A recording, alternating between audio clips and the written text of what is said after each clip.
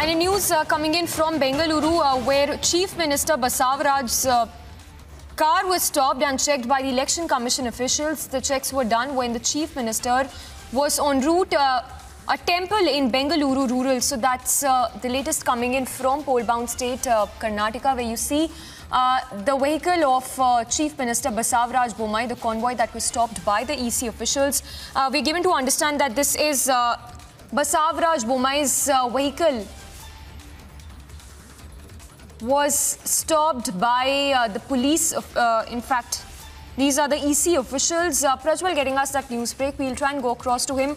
Uh, Prajwal, uh, we understand that this was a routine protocol that was observed, uh, limited not just uh, essentially for the Chief Minister, but for any car that passes through this route.